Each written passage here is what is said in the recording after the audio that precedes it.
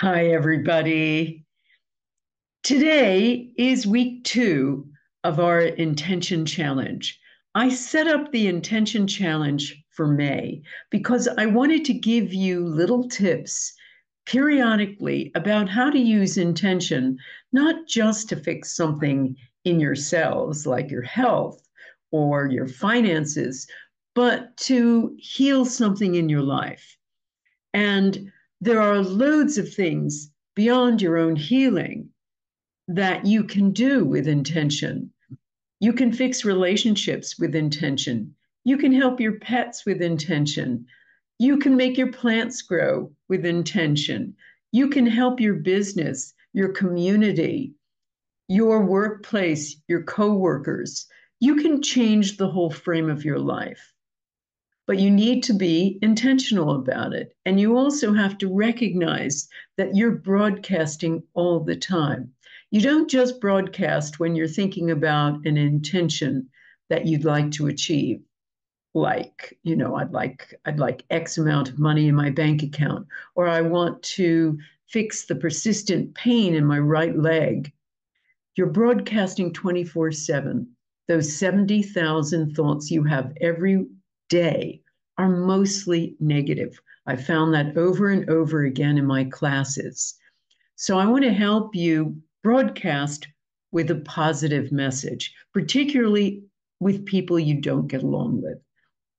So the intention challenge for this month, for May, is all about doing an intention for someone that you're not getting along with. It can be your partner, it can be your children, it can be your parents, it can be your coworkers or friends or neighbors or even people of another political party. Although we're going to be working on that in subsequent months in our intention challenges.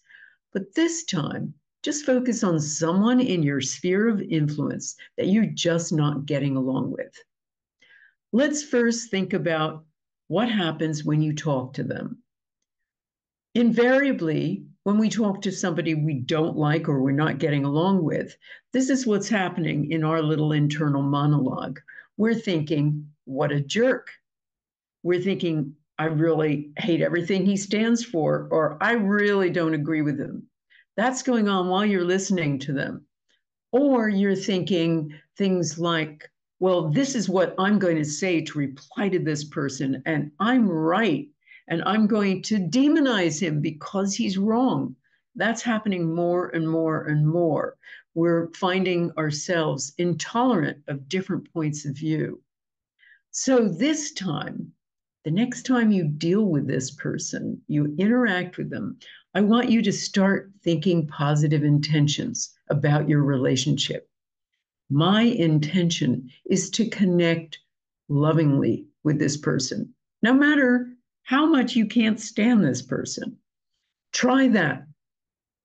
Try thinking before you talk to them about how you're getting along with them. Imagine visions in your own head, visualizations with all five senses about getting along really better with him or her, changing the whole fabric of your relationship the entire energy between you. Try that.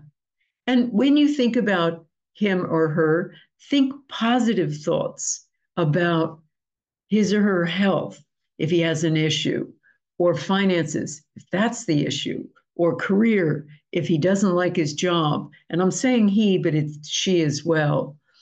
So think positive thoughts around it, radiate out, broadcast positive thoughts my intention is to connect deeply with this person. Then, when you listen to them, when they're speaking, listen harder. Don't have that little interior monologue that's trying to counter their conversation while you're hearing. Just listen. Listen and ask questions that are deep and from the heart and share something when you speak that is deep and from the heart. Believe it or not, the more vulnerable you are, the more likely that person is to share back. and to connect more. Try these little intention techniques and see what happens. And I'd love to hear about any success.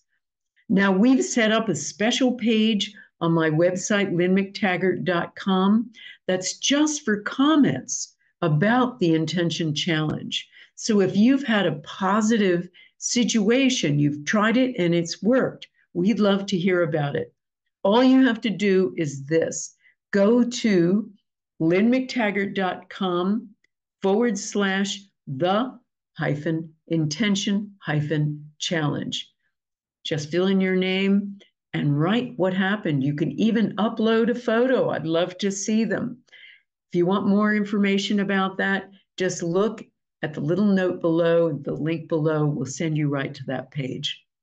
Good luck this month, and I hope you meet the challenge. Thank you.